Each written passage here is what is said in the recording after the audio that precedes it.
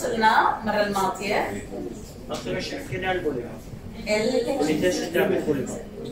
ال limitation صح. thank you thank you thank you thank you okay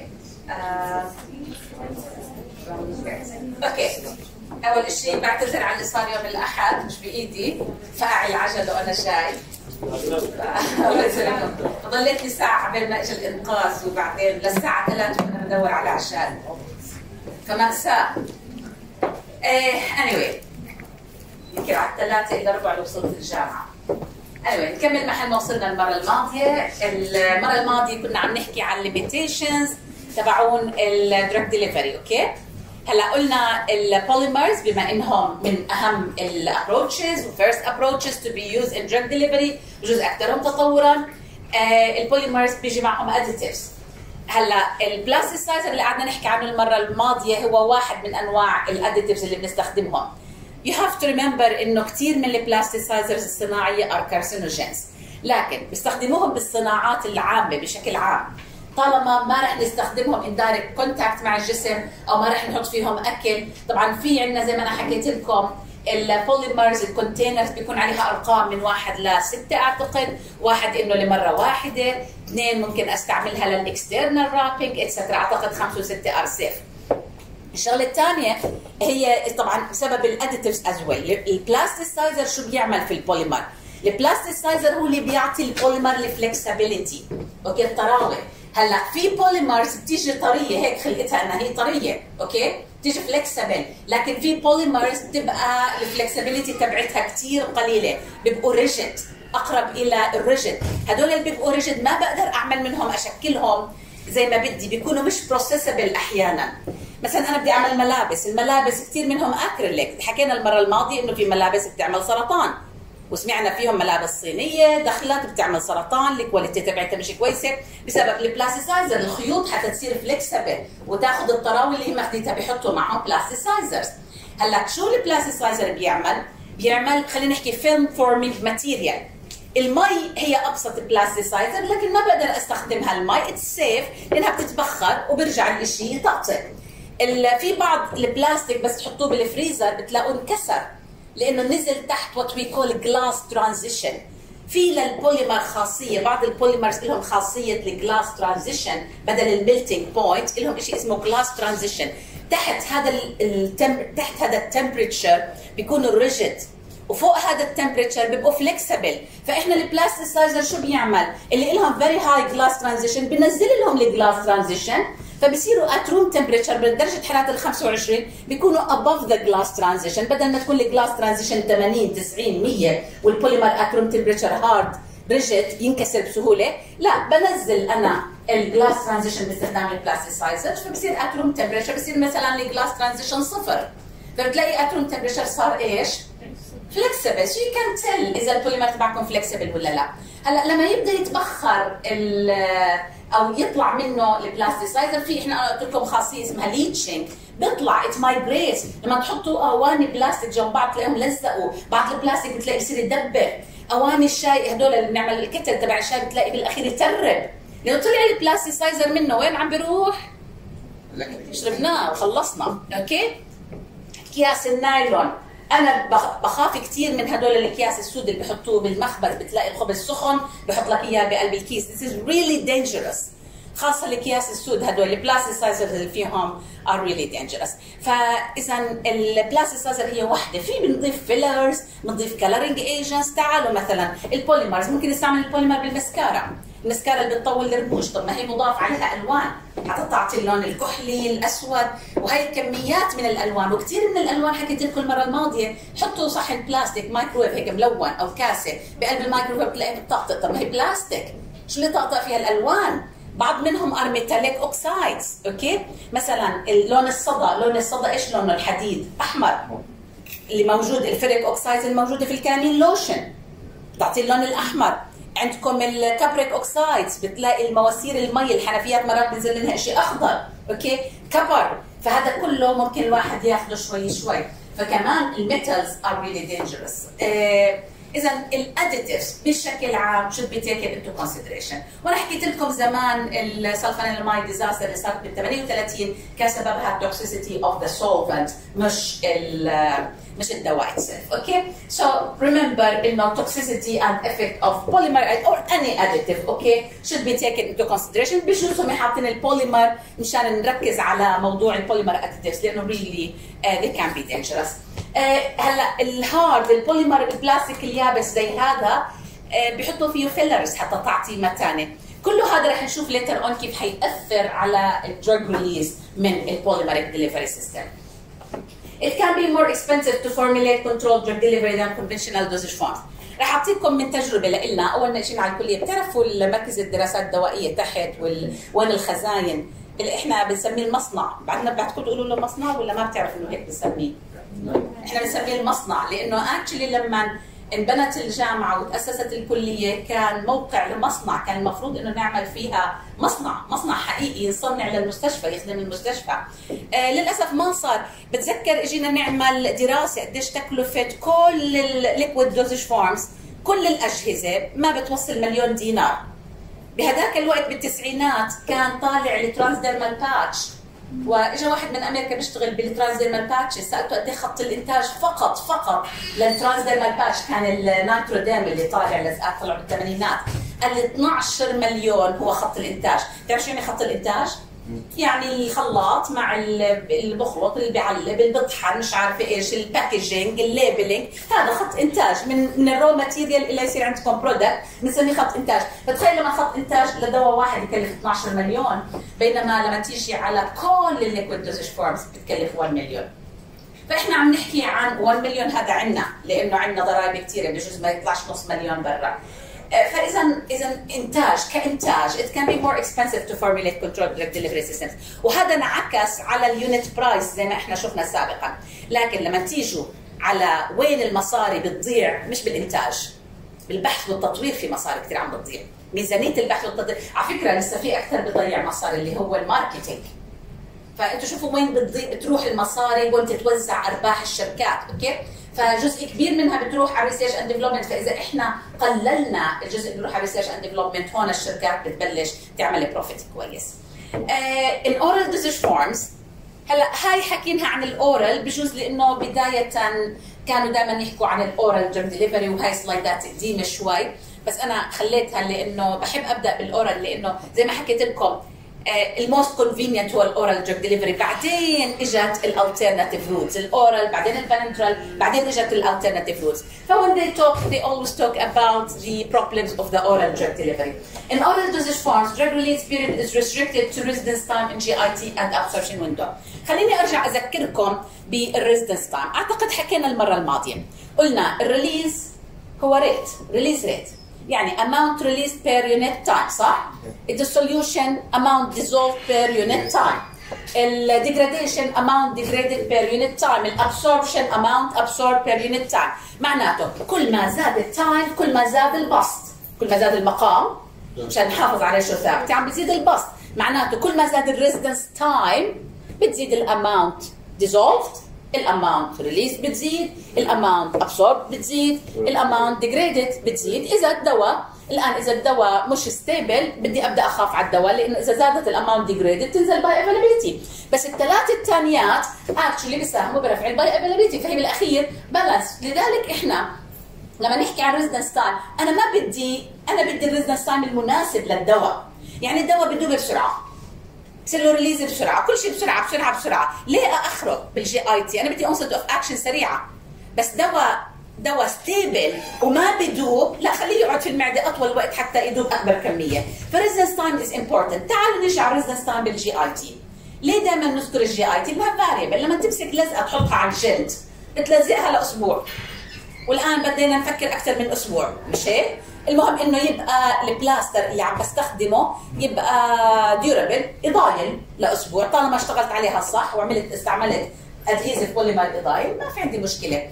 وعملت control عليه ممكن ألزق اللزقه لأسبوعين. بس إذا بلعت شيء ما بقدر أتحكم في مسيره بال GIT. والمشكلة بال oral أنا حكيت لكم أحسن route و most convenient مش أحسن the most convenient هي ال oral. لكن تعالوا نشوف المشاكل اللي بتواجهنا بال oral route من anatomy من بي اتش من enzymes من secretions من surface area كله من residence time كله variable طيب بلعنا حبة الدواء. قديش بتقعد في المعدة؟ على معدة فاضية قديش أخذتوها؟ قديش درسوكم؟ معدة فاضية؟ من نص ساعة. إذا liquid لا. أو ساعتين لغاية ساعتين. هم بيعتبروها ساعتين. حكيوا صح؟ ناخذها إحنا بال pharmacopeia انها ساعتين، فإذا بدي أعمل أنا دراسة على ال drug release بالمعدة بدرسها لساعتين على بي اتش قديش؟ واحد ونص قديش قديش البي اتش للمعدة الفاضية؟ كله من واحد لثلاثة عم تاخذوا لي ال average أنتوا قاعدين طيب الأكل شو بيعمل في البي اتش؟ برفعها ولا بنزلها؟ بزيد ال acidity لا. لا. thank you طيب بس. المفروض لا بيعمل buffering كمان. البي اتش بترتفع. يعني بتصير more alkaline بيعمل buffering مرات بتوصل أربعة ونص وخمسة مرات البي اتش هلأ المعده الفاضية من عادة واحد. إحنا لما ندرس دراسة أو release لدواء ب condition تبعت المعده بناخذ ندرس لساعتين على بي اتش على على بي اتش واحد. actually هو نحط 1 molar HCl اللي هو pH 1.2 actually بس بنعتبرها إنها هي الواحد okay؟ آه أو 1.2 بي اتش 1.2 أو بال 0.1 normal HCl بيقعد في الدواء الدواء ساعتين. إذا أكلنا ممكن يقعد خمس ساعات وست ساعات. وشوفوا إيش بيصير في البي اتش إذا أكلنا. مش هيك؟ طيب. هذا كله بيأثر على الدواء. okay ممكن توصل ست ساعات. إذا ماكل لك وجبة دسمة بروتين منسف ولاحقها بكنافة وبيبسي طبعا هذا راح راحت لست سبع ساعات الأكل في المعدة. آه ال GIT الأمعاء. في عندي ال small intestine قبل القولون. قديش ال residence time بال small intestine ساعة. variable زي المعدة ولا ثابت؟ ثابت. خذوها قاعدة. بال intestine بيعتبروها أربع ساعات. يعني ممكن إحنا ندرس بال intestine على أربع ساعات من أربعة لستة بعض الكتب بتكتب فإحنا بناخذها على أربع ساعات. وثابتة بغض النظر عن شو ماكل شو whatever whatever ال residence time ثابت بس ال variable بال stomach القولون طبعا ممكن توصل لثلاث أيام. بتعرف ممكن يجي واحد على الصيدلية يقول لك عنده constipation اذا إذا ال constipation إذا بس له ثلاث أيام هذا مش شيء مرضي. لكن إذا له أسبوع أو فترة أطول بنقدر نفكر بال real إنه في constipation إذا ممكن يضل لغاية 72 ساعة. لكن بيعتبروا هم عملوا دراسة لل residence time بكل ال GIT لقيوا إنه أعطوا ال dogs مادة مشعة. وبدل يشوفوها وهي عم تطلع من القولون من ال rectum. لقيوا إنه على يعني ببلش يطلع على 24 ساعة. من ال 24 ساعة ببلش يصير في elimination للمادة اللي ماخذها الشخص okay؟ فاعتبروا إنه لغاية 24 ساعة أنا بقول إنه أو آسفة 12 ساعة آسفة 12 ساعة.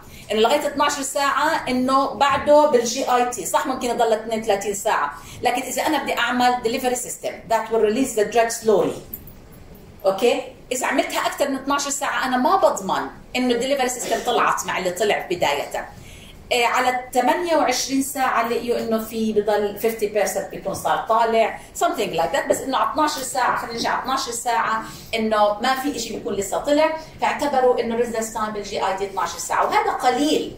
قليل لما أجي أقول أنا لزقة بقدر أحطها لأسبوع. أجي أقول لك الآن delivery system بس هلأ تقولوا لي في كثير أدوية بعطيها orally وبتضلها لمدة 10 أيام بالجسم.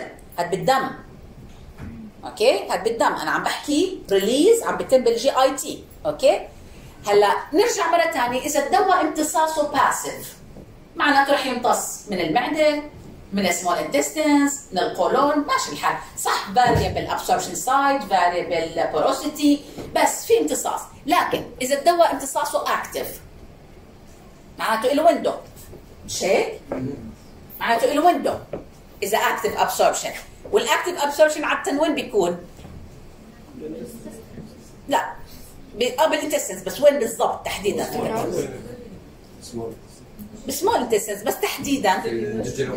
بال duodenum أو ال jejunum بال duodenum وشوي من ال jejunum هلأ لو أنا حاملة سطل مي ومارقه فيه من هون للأخير هلأ إذا نفرض انه هون في مصرف.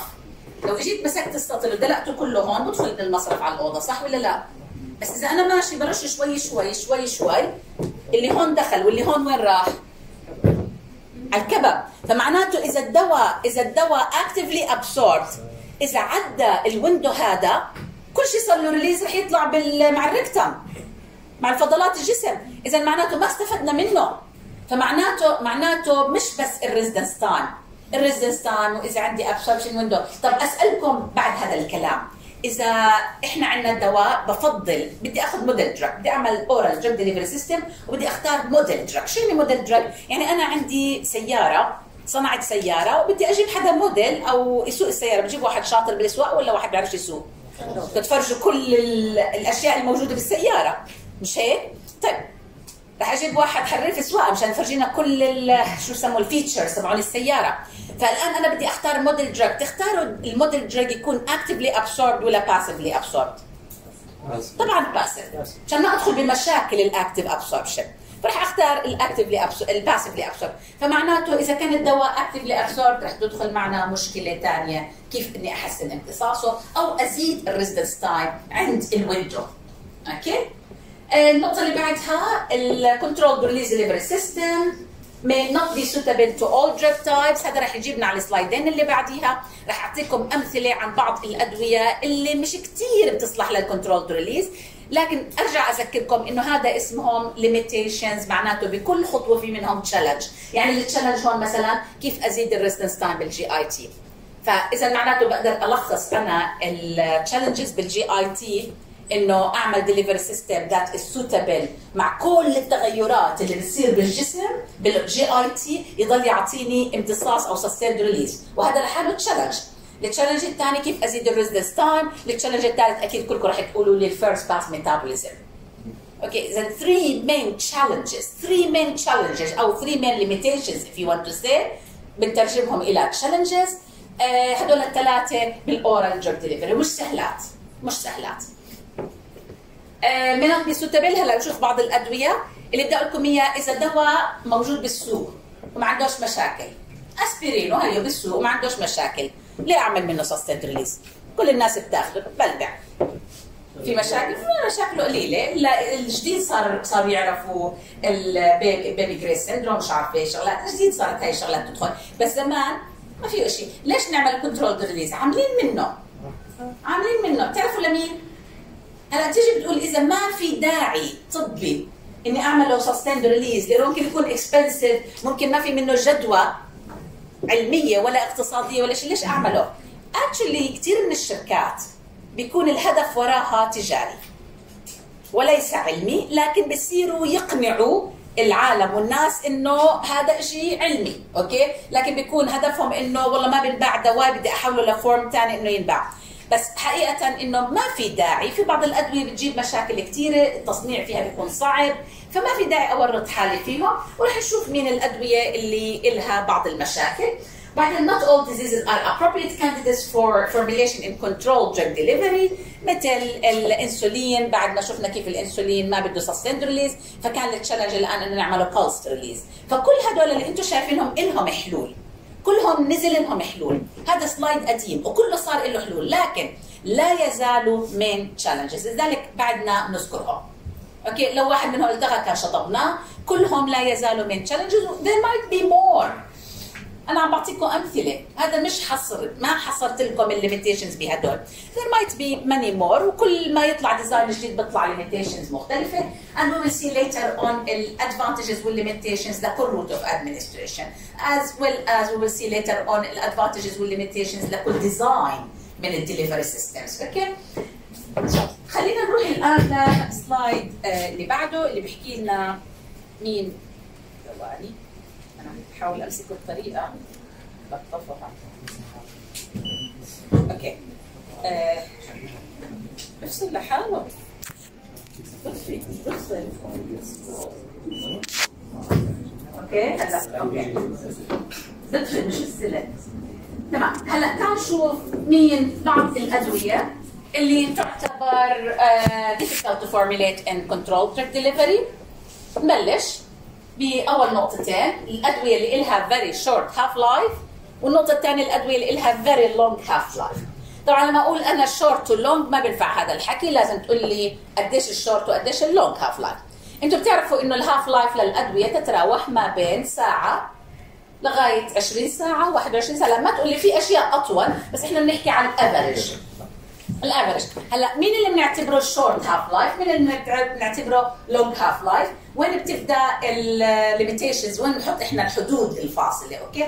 هلا بقول لكم الأدوية اللي لها short half life أقل من ساعتين رح تعمل لي مشاكل. هلا بنشوف شو طبيعة مشاكلها. والأدوية اللي لها half life أكثر من 8 ساعات كمان رح تعمل لنا مشاكل لكن من نوع ثاني معناته بصفي إذا دواي أنتوا لاحظوا شغلة هلا بس نخلص هدول.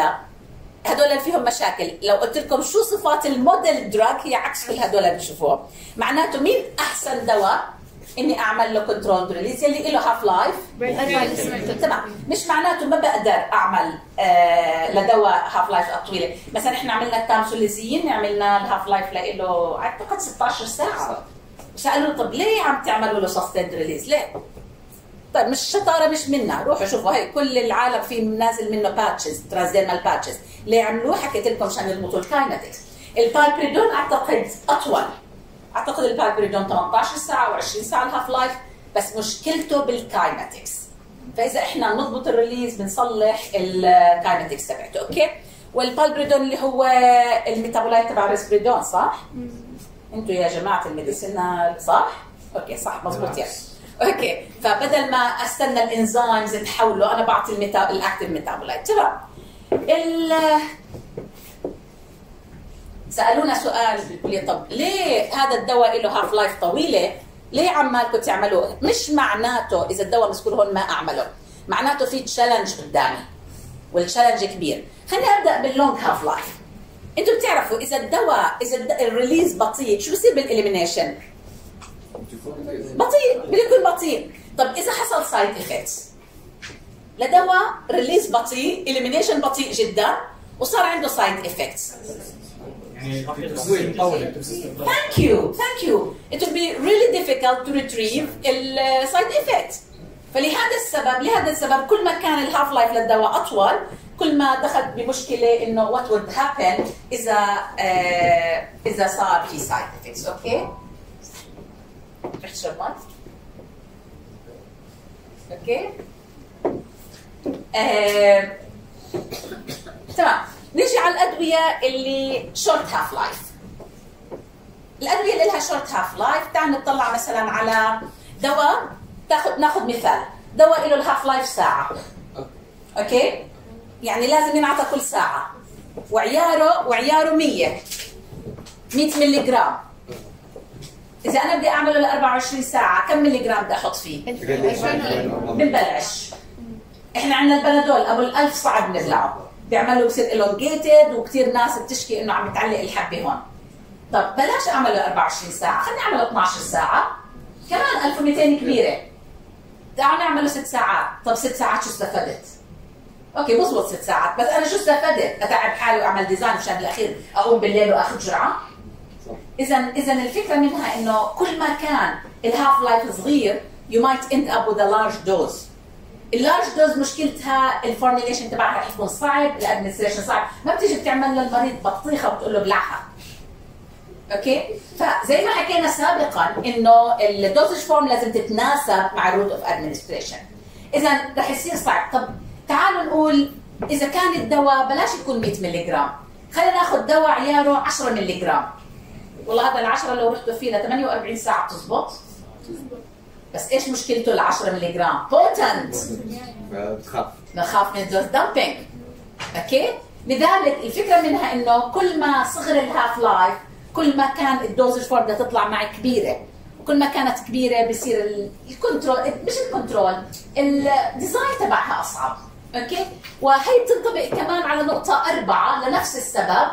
drugs ال large doses ما بت... نقدر نعمل لهم control release تعالوا على الأسبرين. الأسبرين عملوه لأنه عياره أقل. بس البنادول عيار الألف صعب أبلعه. أجي أعمل الآن بنادول sustained release تعالوا على ال antibiotics حكيت لكم المرة الماضية. أنا نفسي أعمل transdermal antibiotics نفسي أعمل transdermal antibiotics لكن الجلد ما رح يمرق أكثر من 10 50 ملي جرام per day ما رح يمرق 10 أصلا. يعني إحنا الأدوية بنشتغل عليها 0.4 و 0.5 ملي جرام per day هاي ال doses اللي عم نشتغل عليها. okay لأنه بيصلح لل potent. فرح أفكر إنه والله لل potent أحسن شيء ال transdermal إذا بقدر أمرقه. ال dose قليلة بمر آه ما فيش dose dumping. so ال آه، شو بدي أحكي؟ antibiotics بنادول joint إيش هو؟ بنادول joint آه okay. هلأ عملوا الأسبرين البنادول بس بلعها صعب.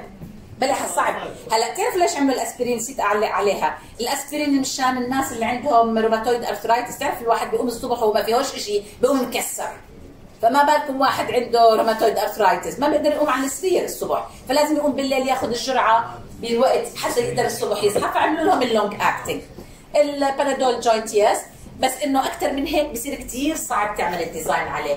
ال antibiotics أنا حقيقة حابة أعملها لأنه كثير في resistance للبكتيريا.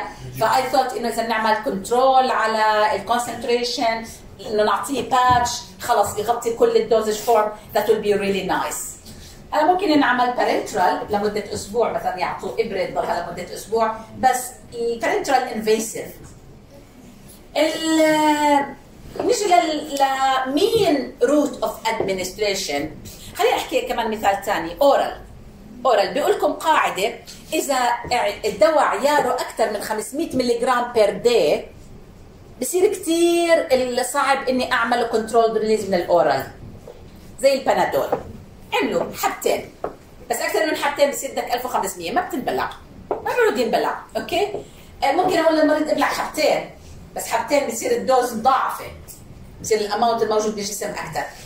right اذا آه، إلا إذا هم control بحيث إنه يطلع نص الكمية. مين في عندنا route of administration تعتقدوا إنها مناسبة للأدوية اللي لها short half life أو large doses ميك ا جيس انفيوجن بده يضل بالمر بالمستشفى. مين حكى؟ بده يضل بالمستشفى بالانفيوجن البكر بالعكس. البكر شو؟ توسع لتوسع. أحكي لكم شغلة الأوديتيز الأوديتيز ما كان في أعتقد إنه ما فيش ستاندرز للاوديتي لأنه مش دار.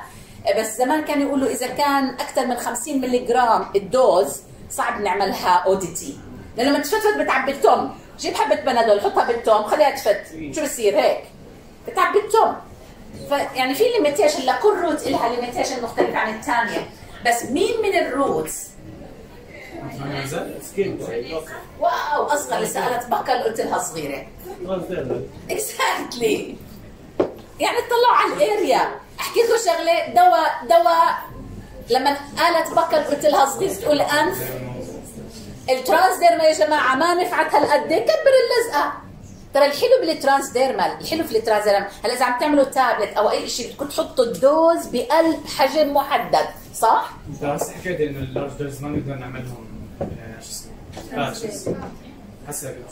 امتصاصها wait wait wait wait ال large dose امتصاصها مشكلة. بس أنا عم بحكي ل إذا بدي أحسن. ليه ما يعملوا needle أصغر من يعني حتى حجمها صغير بس عشان تخترق في micro needles we'll talk about this later on. ويحطوها مع ال transdermal yes yes thank you وهذا اللي رح نعمل في ال antibiotics موجود على فكرة اسمهم micro needles if you google it it's called micro needles correct? خلص لازم اعمل research yes exactly good excellent عاملينهم زي كيف البعوضة.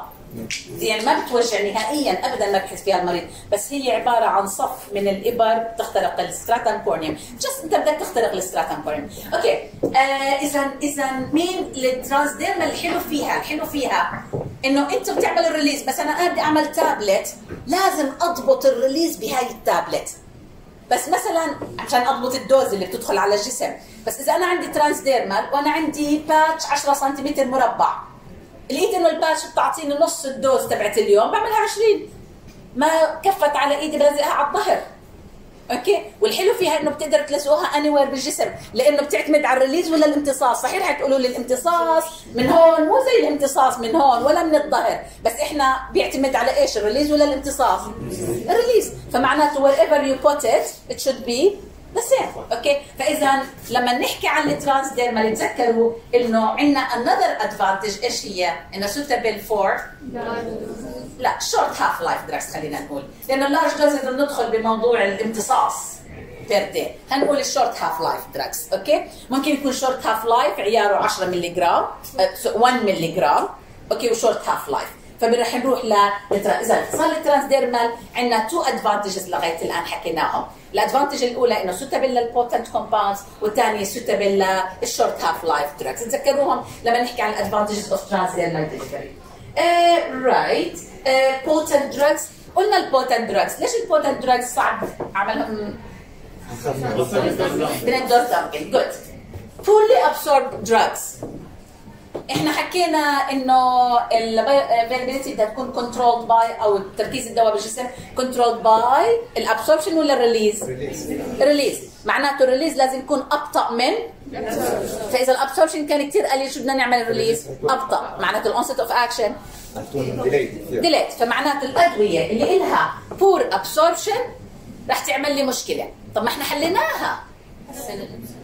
قلتوا لي بنحط absorption enhancers بس لا زالت مذكورة as problem why لأنه مش معناته بدي أدخل بمتاهة طويلة. قعدنا مرة ست شهور وإحنا ندور على absorption enhancer okay حتى نلاقي ال suitable absorption enhancer يلي بمرق الدواء وما بيعمل لي مشاكل. واللي بيبقى reversible as well وانتبهوا لل concentration مرات بنحط combination من absorption enhancers مشان ما أوصل لتركيز عالي. لأنه لهم synergistic effect poorly or slightly soluble drugs. آه هلا هاي هاي ما بتنطبق على كل ال dosage forms على كل ال designs لكن إذا كان الدواء ال solubility تبعته كثير ضعيفة تعمل لي مشاكل باختيار الآلية تبعت ال release تبعت الدواء. يعني الدواء ال dissolution تبعه كثير بطيء. ما بقدر أحطه ب diffusion control system ال diffusion control system خليني أحكي لكم. لو جبت كاسة مي حطيت فيها semipermeable membrane وحطيت مسمار. مسمار مثل المسمار من هون لهون؟ لا. ليش؟ لأنه ما داب ف it should first dissolve. فحتى يصير عندي dissolve to create a concentration. متى ما داب صار عندي C1 وصار عندي C2 بنتقل. فإذا الدواء تبعي ال solubility تبعته كثير قليلة ما رح ينفع أصلا ما بقدر أعمله diffusion control. فبدي ادور على آلية ثانية بجوز ال diffusion control من أسهل ال mechanisms اللي بنشتغل فيهم. okay؟ فبدي أدور على degradation control distribution لل polymer على osmotic pressure رح أحكي لكم عن ال osmotic pressure آه في طالبة ماجستير اشتغلت معنا على البالبريدون. آه بتشتغل كانت في شركة أدوية موجودة بعمان. وحتى سمحوا لها إنها تشتغل بعمان بالموقع اللي هي فيه بس بالشرط إنه تاخذ البالبريدون وتحاول تعمله zero order release zero order release كثير صعب إلا إذا رحنا لل osmotic pump. ال osmotic pressure بيعمل zero order. الشركة ما بدها osmotic pressure. بتعرفوا ليه؟ لأنه ال innovator أو ال الشركة الأصلية عملته osmotic pump. وتصنيع خط الإنتاج لل osmotic pump كثير أصعب. بدهم by direct compression قال بدنا تابلت نصنعها بأرخص ال tech... بأرخص شيء بتكلفة بسيطة. نخلط المواد. اكبس اعمل. كثير صعب. We did something. مع ال polymers we managed إنه نحصل على controlled release. بس مش أنا قلت لها قلت لها انسي zero order بنقول لهم نعمل zero order إحنا بنعمل delivery system بنحاول نعمل عليه control بغض النظر شو بيطلع معنا بالاخير بدهم يكملوا يكملوا هم لأنه كثير صعب إني أعمل zero order okay so إذا بيعمل لي limitations على ال release مش بس ال release كمان بيعمل limitations على ال incorporation في بعض ال carriers هاي حكيناها المره الماضية هاي النقطة؟ Uh, drugs undergoing extensive first pass metabolism. تذكروا حكيناها بال limitations. شو السبب؟ saturation. مع the, all the drug will end up degraded. تعالوا ناخذ مثال. نيتروجليسرين كم جرعته؟ 70 قد إيه؟ لا لا. كمية قليلة جدا. 0.1 آه ملي جرام صحيح ملي جرام قليلة جدا ال dose. طيب. النيتروجليسرين بنعطى orally okay ليش ما بنعطى orally؟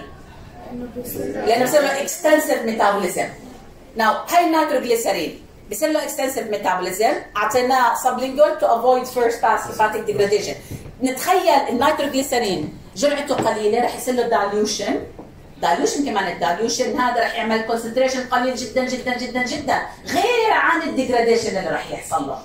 فالدواء اللي extensively metabolized بصير صعب. وهذا حكيت لكم إياها ال major limitation الثالثه بال oral drug delivery اللي هي ال first pass degradation سواء بال liver مرات في المعدة بصير ال degradation acidic degradation مرات بالأمعاء. مرات في جدار الأمعاء. يعني إذا نفد من المعدة نفد من ال small intestines في enzymes قعدت له بجدار الأمعاء. فهذا كله بيحط لي الدواء. فالدواء إذا كان extensively metabolized رح يصير it might end up all degraded. You cannot saturate the enzymes. إلا إذا بديتوا تدوروا الآن في لها حل؟ في حلول. الحل الأول إني أعطي enzyme inhibitors okay الحل الثاني أو competitive inhibition. الحل الثاني إني أعمل prodrug design الحل الثالث غير ال route. ما ضل عندي حلول. okay؟ وال enzyme inhibition كل شيء بدخل بالسايتوكروم هذا ال P cytochrome بخرب الدنيا مش هيك؟ okay. أصلا ثلاث أرباع التداخلات الدوائية من وراه actively absorbed حكيناها قبل شوي ولا ما حكيناها؟ طيب هاي النقطة وهي النقطة شو بيختلفوا عن بعض؟ We'll end up the lecture بهذا الكلام. هاي وهي شو بيختلفوا عن بعض تعال نقرأهم actively absorbed drugs may pass quickly and not being absorbed in sufficient amounts from GIT drugs that have absorption window شو دخل طب ما هي actively absorption لها absorption window am I repeating myself am I repeating myself هون طب ما هي actively absorb بين قوسين يعني absorption window طب ليه حطينا absorption would result نفس الكلام؟ بس ليش حطيتها بجملتين؟ تعال نطلع على ال actively absorbed اتفقنا عليها صح؟ ال absorption الثاني ال main اللي هو ال passive هلا في من ال pores في facilitated diffusion خلينا ناخذ الآن ال passive diffusion ال passive diffusion بينتقل من ال high concentration لل low concentration شغال من أول ال GIT لاخرها مش هيك؟ حتى ال oral cavity هو بيصير في عبد. حتى ال buccal يلي عملنا buccal tablets مشان نعمل امتصاص من ال buccal آه بدي أحكي عن ال small intestines هلأ الدواء كيف بمر من قلب ال small intestines حسب ال diffusion ال size خلينا أطلع على ال small intestines اتخيلها مثل المنخل. okay؟ وفيها ثقوب. هلأ قبل ما أحكي عن الثقوب الدواء من وين بيمتص؟ هلأ بدنا نطلع من الغرفة بدنا نطلع من الحيطان ولا من الابواب من الابواب okay؟ نقدر نطلع من الحيطان؟ لا لأنه طبيعة جسمنا ما بتخترق لها. معناته الدواء عنده طريقين. يا يمرق من عبر الخلايا فإذا كان lipophilic it can diffuse من الحيطان بس إذا كان hydrophilic بده يمر من الابواب والشبابيك هلأ الآن بيعتمد على إيش؟ إذا كان lipophilic بيعتمد على ال partition coefficient، إذا كان hydrophilic بيعتمد على إيش؟ إذا واحد أكبر من الابواب والشبابيك بيقدرش يطلع من الأوضة انحشر جوا، طاولة كبيرة ما بقدر أطلعها إذا ما كسرتها. فمعناته بيعتمد على ال size، تعالوا الآن نطلع على polar دواء water soluble polar وله size معين. ونتخيل الأمعاء مثل المنخل. الخزوق بالبداية كتار وكبار. وكل ما نزلنا لتحت الثقوب عم تصغر وتقل. معناته شو بصير بامتصاص الدواء؟ رح يوصل لحد معين. بالنسبة لل size there's a cut off molecular weight. يعني أكبر من هذا ال size ما بيمر. فرح يوصل لمنطقة ما يعود يقدر يمتص. فهون دخلنا إحنا ب هذا مش active هذا passive لكن صار له window هذا اللي مقصود بالجملة هاي. ومن هون بقدر أنا أستفيد من هاي المعلومة وأعمل colon targeted delivery مين يحكي لي كيف؟ يلا تعالوا نستفيد منها نعمل design هون يلا فكر. بدي أستفيد من النقطه هاي وأعمل colon targeted delivery